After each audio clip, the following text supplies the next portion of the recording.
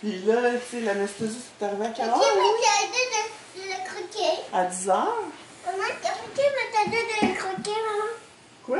Papy, veux-tu l'avoir un Tu veux peu? le café? Ah, non, non, c'est correct. ça. Il a l'air trop bien. il est bien trop dur. Il est bien, regarde. Ben oui, j'ai jasé avec. Fait qu'à 10 heures, 10 heures, il arrive, s'installe. J'ai eu mon épidural à 10 Avant l'épidural, j'étais à 4 plus. Rien, puis t'as t'as eu le bébé à 11h, 22h50.